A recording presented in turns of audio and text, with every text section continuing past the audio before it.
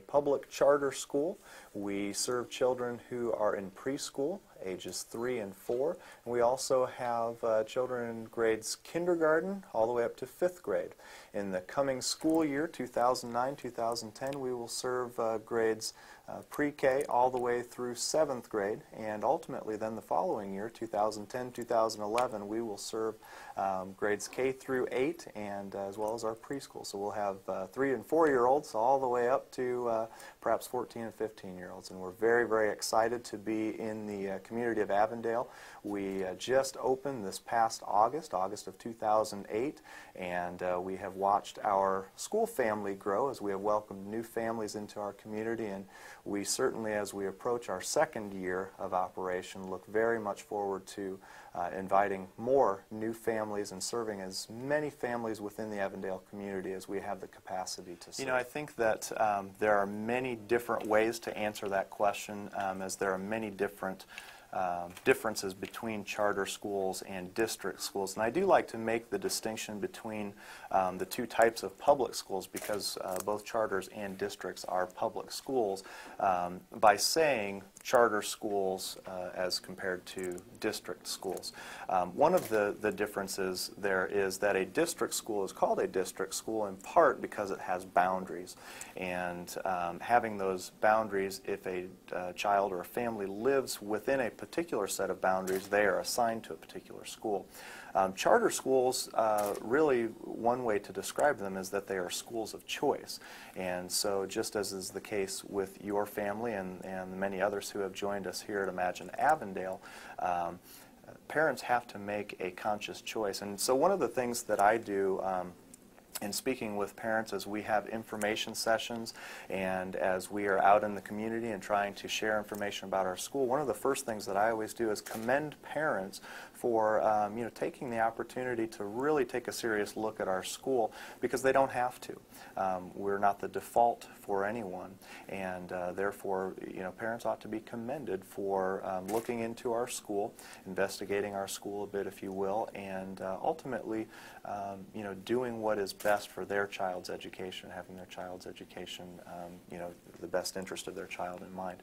We um, are a public school, and so we are publicly funded. One of the, uh, I think, common misconceptions about charter schools is that there is tuition.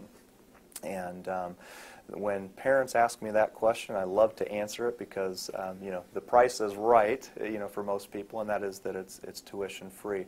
As a public uh, school, we do not charge tuition, um, just as if if uh, parents choose to send their children to a district school, they uh, are not charged tuition. And so um, we are uh, funded both uh, by state dollars, state tax uh, revenue and um, as well as uh, have the opportunity to receive federal um, revenue. Children come first. And because children come first, one of our aims here is to get to know each of the children individually um, and knowing something about them, being able to contribute to their education um, by partnering with parents. And so we need to get to know the family a bit. And, and what that does for us is it allows us to have a community in which, uh, as we say very often in our school, all of our students are all of our students. And the idea being that the eighth grade teacher is just as responsible for the academic achievement as well as the behavior of perhaps the kindergarten or preschool student.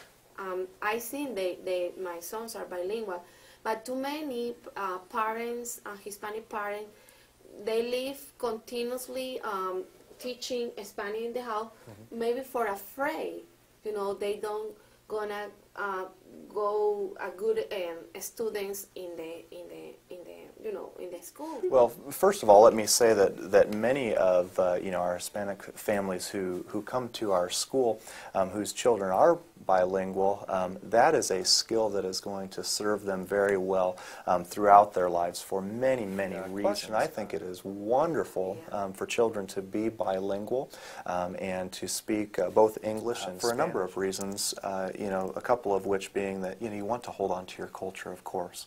And um, that is, as, as, you've mentioned, one of the reasons that, um, you know, parents who, uh, who speak Spanish or another language, they want to hold on to their culture, and they absolutely Absolutely, absolutely. And so that's that's really the, the goal of everything that we do from an academic standpoint is that it is something that sticks with children, that is going to benefit them throughout the remainder of their lives, and is going to um, help them to be, you know, what we refer to as a lifelong learner, someone who has the ability to um, continue to grow and learn and better themselves and, and uh, make the community around them a better place as a result of the knowledge and the skills that they have acquired through their education.